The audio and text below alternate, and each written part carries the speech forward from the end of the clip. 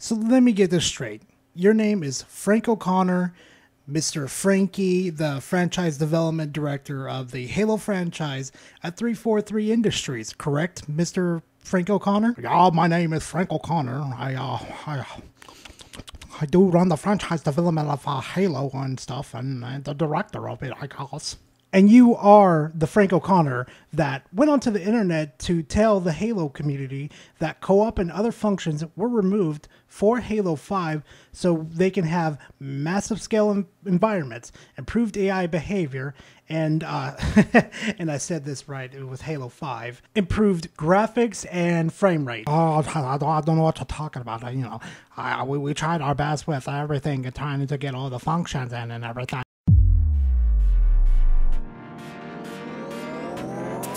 Damon here with IGN News. Halo 5 Guardians developer 343 Industries has responded to the outcry from fans in response to the news that its upcoming Xbox One exclusive shooter won't include split screen support. In reply to a fan on Twitter, 343 franchise development director Frank O'Connor explained that adding in the feature simply isn't possible. He said, if we could do it, we would do it, but it is what they call non-trivial. Just last month, the studio explained why it ultimately had to sacrifice split screen support, with studio head Josh Holmes going so far as to say the decision was one of the most difficult ones they've ever had to make. In order to add the feature, compromises would need to be made that would ultimately undermine the studio's ambitions to provide fans with an experience that has, quote, massive scale environments, improved AI behavior, increased visual and gameplay fidelity, and ultimately something that truly takes advantage of a new platform. Also, I found an interesting clip from 2013 where you and Kiki Wolf were basically on stage talking about how maybe you shouldn't listen to the fans and you need to listen to the uh, broader audience. No, no, I don't remember it uh, really at all. Um, and you have to strike a careful balance between having a conversation with that community and letting them behind the curtain and sharing with them and taking their opinions. Uh, and their feedback and their criticism seriously while understanding that they are a subset of, of that wider audience. And they're not necessarily representative of it. They have also, aren't you the same Frank O'Connor that defended uh, loot boxes? I mean, the rec packs, saying they weren't uh, intrusive or anything like that. Oh, Bonnie, help me! Beat me to me again. You know, Frank O'Connor. It's been about a decade that you guys had control over the Halo franchise, and you've had about repeated failures over and over again. I'm talking about with Halo 4, Halo 5, Halo MCC, and now Halo Infinite. This has been a repeated offense with you guys, saying that, oh, we'll listen to your guys' feedback and make sure that these bugs that are like disrupting the gameplay of your enjoyment of Halo gets fixed by the developers in a timely manner. So about three to four months later, you guys finally, finally got BTB to work. And uh, well, unfortunately, during that time, the bugs have run rampant throughout the whole game, just absolutely destroying experiences to the point nobody wanted to go play BTB. The playlist was just absolute, just dog shit. You know what? I have a clip for y'all that I really want to play during that time.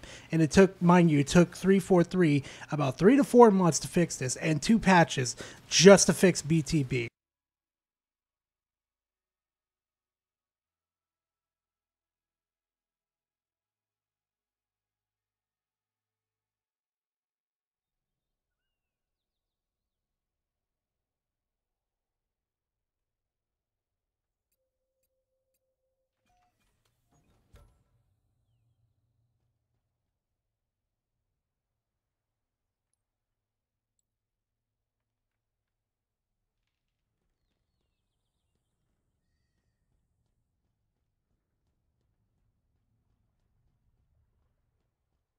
So after BTB was actually finally fixed after constant months and months telling 343 that this playlist is broken and we need a emergency patch to come fix this and stuff.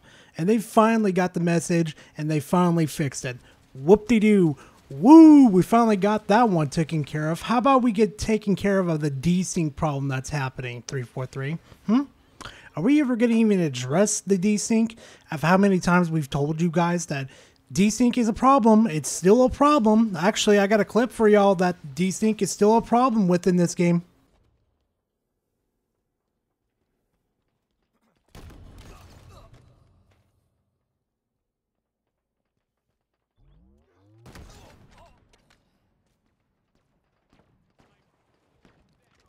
And mind you, this is the first match that I come back to Halo Infinite, and this is the way I get treated with absolute just disgusting things constant without throughout the match and stuff.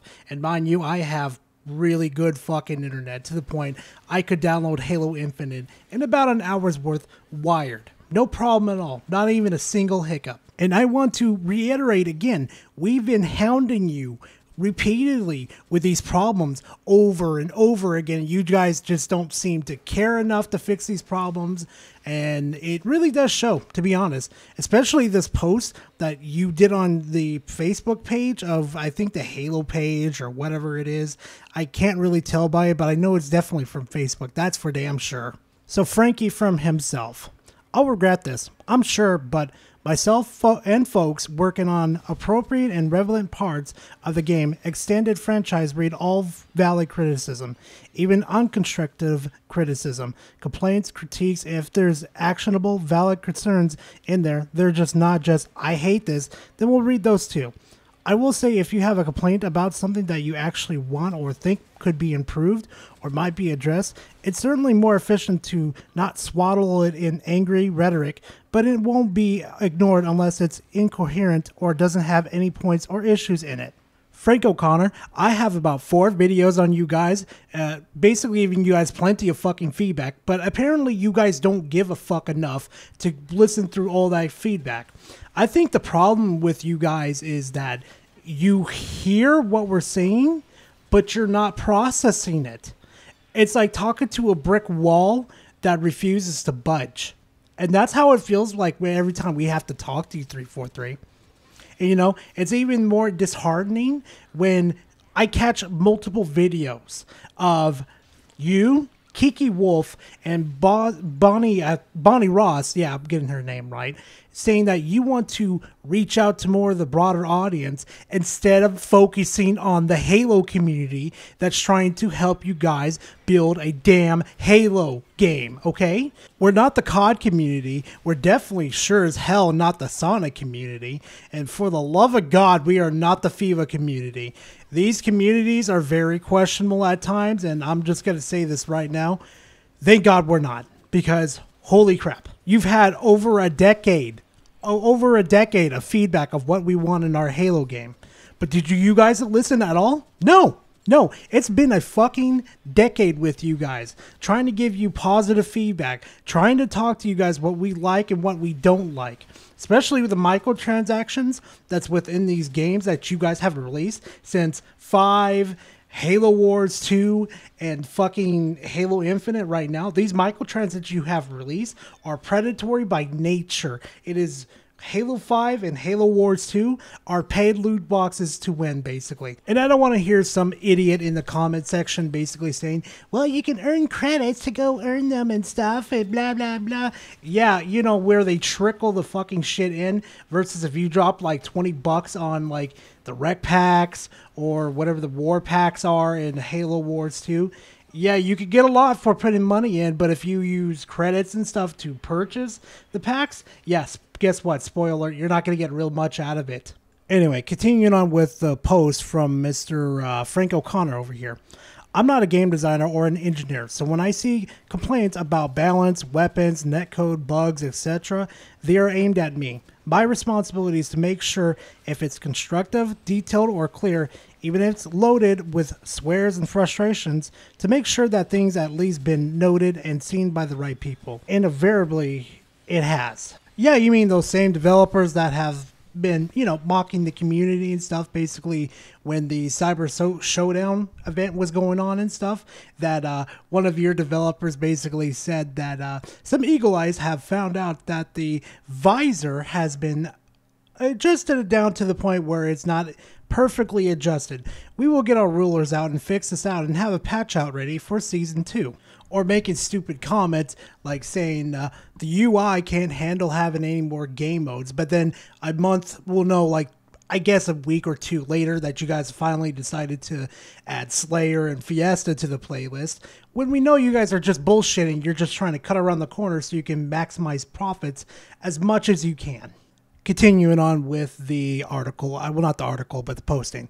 It's frustrating for players when it seems like nobody's paying attention, let alone responding, but that's never true. We can't respond to everything, and pushing off often competing suggestions or complaints without actually addressing or meaningfully updating the information is worse than silence. But silence does not and has never meant obliviousness, and designers, artists, producers, etc., are seeing this stuff and usually working on some aspect of it and working hard.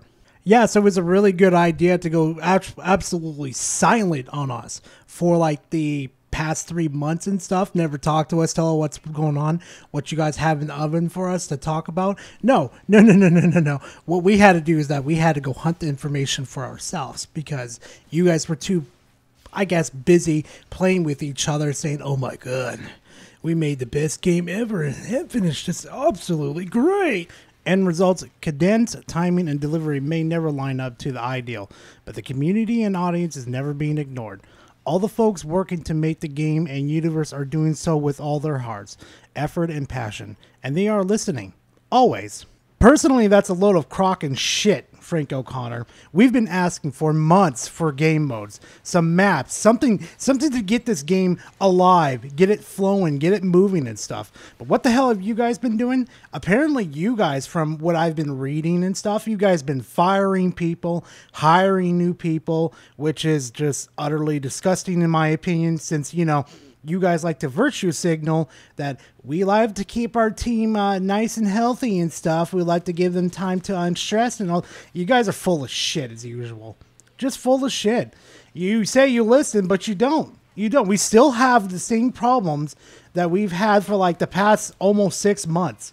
And what have you done, 343? Nothing. And when you have done something, it's usually doesn't even work at all. You like it, it feels like you half-assed this product again. Just like you did with Halo 5, just when you did with Halo Wars 2. Oh god, that was so buggy on launch. Oh my god.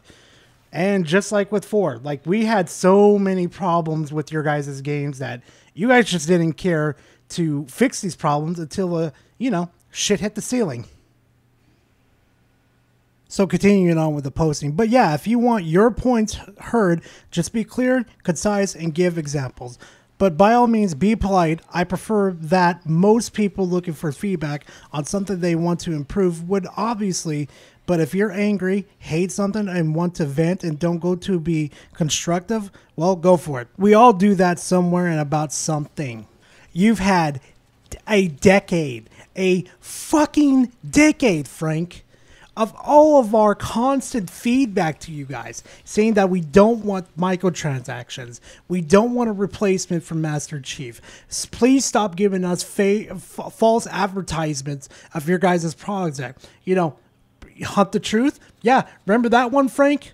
Yeah, I do that was such a cool as uh, aspir how can I explain this? Such a cool example of piece of lore that could have been respected within the Halo universe. But no, what you guys did is that you just absolutely took that concept that was Hunt the Truth and you yeeted it into the trash can for the absolute trash heap we had with Halo 5. And trust me, I'm going to call dog shit what dog shit is. And trust me, the Halo 5's campaign was dog shit. So he finishes up his posting by just saying this just try not to attack each other for not agreeing with each other and try to be nice. Meanwhile, we'll all try to filter that and keep working to make things better. Always. Yeah, hey, Frankie boy, I doubt that because you've had the last decade to improve Halo, but you didn't. You know what you you three four three and Frank O'Connor. You know what you guys done? You guys had just sat on the franchise trying to do these things that are going to cater to these trending things. Like I know for a fact that you guys are going to do the battle royale and stuff, and you're just wasting your uh, your talent to be honest. Because when Halo Five came out six months later, we had infection. Okay, and th- this is the best you could do. You're gonna give us a fucking battle royale that probably nobody wants, but these crackhead Twitch uh, streamers and stuff are going to be streaming this and stuff. You, and you think that's really going to last? Especially with all the problems that happen with the desyncs and all that type of stuff. You really think that's going to be helping you guys? On a final note, before I do finish up this video and stuff, Frank O'Connor, if I was Phil Spencer right now, I would fire all of you. All of you would be out of a job. I would pull in Certain Affinity because those guys, I've looked at their track record and stuff. They do they do pretty decent, above what you guys can do, to be honest. And I would pull ID Software in, and we would be actually working on a Halo game that would just blow the minds of the massive. We would be trending and stuff, getting stuff done. But you know, I'm going to be completely honest with you. You're lucky I'm not Phil Spencer right now, because I would fire you in a heartbeat. All in all, Frank, to be honest with you, I don't think you're fit for even like talking about Halo, to be honest. Because from what I looked up on the wiki page too, you're the one that allowed Bonnie Ross to come in and do all this woke diversity hiring instead of hiring people that know and that basically know how to code and make video games. No, because you guys are just more worried about hiring diversity and all this other disgusting stuff that I don't even want to mention from the Wikipedia. I'll leave a link in the description. Everybody's curious to go see that. But other than that, guys, thank you very much for watching this video. And I'm going to tell you right now, for all the new people that have came to the channel and stuff and subscribed and everything, just even liking and commenting really did help me. So I appreciate every last one of you. Thank you very much. And uh, I do plan on to continuing to work on the Halo TV series. Unfortunately, uh, a certain company by the name of CBS keeps blocking it to the point where I can't even post it. So I'll be working my due diligence on that. And uh, the next video, well, in this little essay series, I guess, or whatever you want to call it, really, it's really up to you guys. I'm going to be doing Bonnie Ross next. And oh boy, I'm going to have fun with Bonnie Ross. But anyway, guys, thank you for watching the video. If you guys did like this content, please like the video. Leave a comment in the comment section. I really want to talk to you guys again because it was fun on the previous video. And if you guys did enjoy this content too, please subscribe to the channel. It's free. No strings attached. I'd like 343. But yeah, thank you guys for watching, and I'll see you guys in the next video. Later, guys.